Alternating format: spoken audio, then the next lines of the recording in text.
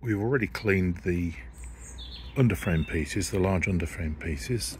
Uh, cleaned the holes for the brake gear mounting. That's M. That's three mil, so M3 bolts go through there, and also clean up anything on the on the 3D printing.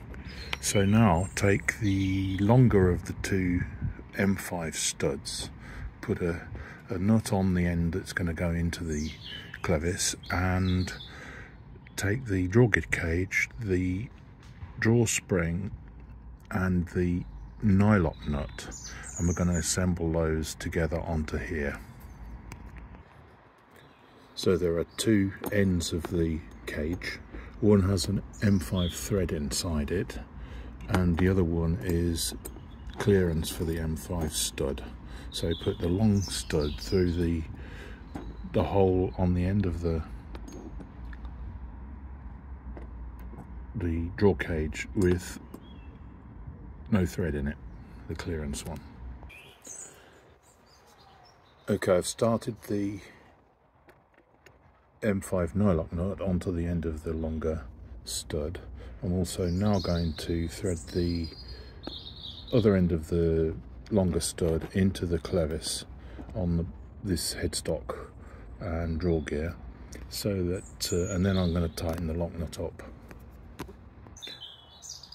thread it into the into the clevis so that you can just see the end of the stud appearing in the clevis. We may need to adjust that later as we adjust the tension on the draw gear, but at this stage that's uh, good, well engaged and is not going anywhere. So now I'm going to tighten up the lock nut. I use a adjustable spanner because it has longer reach, otherwise you won't get a normal spanner to fit over that nut now in the um, inside the cage. So the, the nylock nut just needs to have it so that it pushes it so that the thread is coming through the end of the the, the nylock. That's far enough. If you try and put them too far on, sometimes they start binding quite badly. So that's uh, positioned now where we need it. While you're doing it up, you can actually just hold by hand the other end because there's not much torque on the uh, on the nylock when you're putting it just into the just far enough into the stud to appear in the end of the nut. So I just hold the end of the uh, of the uh, the other end on the clevis using the, the headstock. Assemble the other end of the wagon with the headstock and the clevis and the shorter of the two M5 studs with a lock nut on there passing through this hole and then another lock nut onto this end. We're going to lock that onto the the end of the uh, the draw gear cage uh, and that will complete the draw gear assembly. It will need adjusting when we put it onto the wagon. Now I've threaded the shortest stud through the the underframe hole and into the end of the draw gear cage, the one that has a thread in. And so now I'm not going to actually tighten this up until we've decided on the length and we'll do that when we offer the, the assembly up into the floor and tow bars.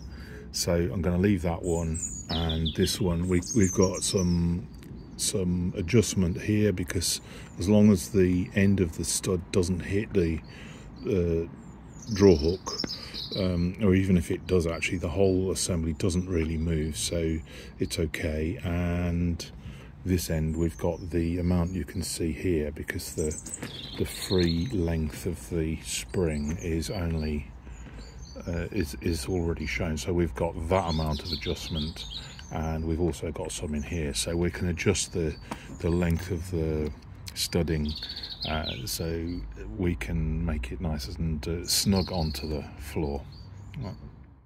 As you offer the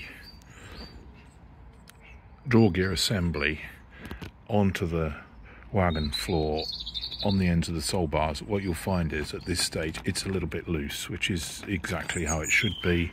And uh, then we will adjust the in the first instance we'll adjust this by turning the whole headstock it easily moves and we can adjust it uh, as we uh, as we then offer it again. And what we are looking for is this um, to be this the fit to be so that the draw gear is the spring is just under tension and holding everything in place and it's a good reason to do there's a good reason to do that which is that then when we glue the headstocks onto the sole bars and the floor it will be put firmly against the headstocks by the spring tension of the draw gear which means we don't have to clamp it really.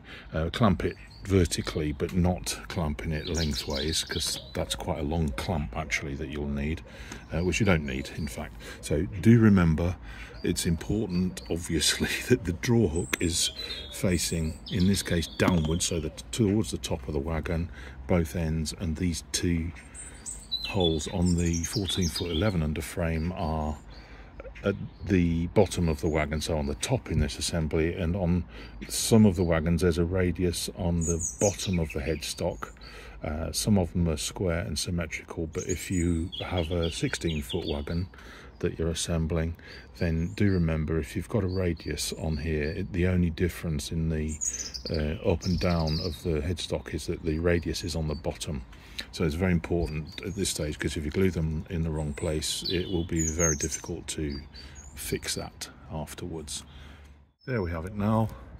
I've tightened up the this end. You can see that the the stud is protruding more into the cage um, by whew, probably five threads, five turns, and I did that by turning the whole headstock assembly and it tightens up on here turns the whole thing and now we have a um, an assembly which is tight against the end but not too tight. It's just easy easy to move with your, your thumb like that. Uh, obviously all ends the same so make sure everything's sitting in place. There's nothing fixed yet but these are these are loose for example but they need to be tucked snugly up against the uh, the end and it's a good idea as well just to fit this piece in here which will fit uh, not with one hand but yes it will just about. So that that actually holds everything in place as well. So you've those cross pieces are, uh, can be taken away at the end or I actually usually put them on the bottom. It'll slide through underneath uh, and then I don't take them out but they shouldn't they're not part of the wagon they're just to space it so that it's the right spacing and parallel. Important at this stage is to tighten all the lock nuts. So uh, yeah I'm going to take the the uh, 8 mil cross flat spanner to tighten all the all the lock nuts. That's this one this one. That's already tight. We don't need to touch that and this one to tighten them against the, the two clevises at the end and the end of the, the draw cage.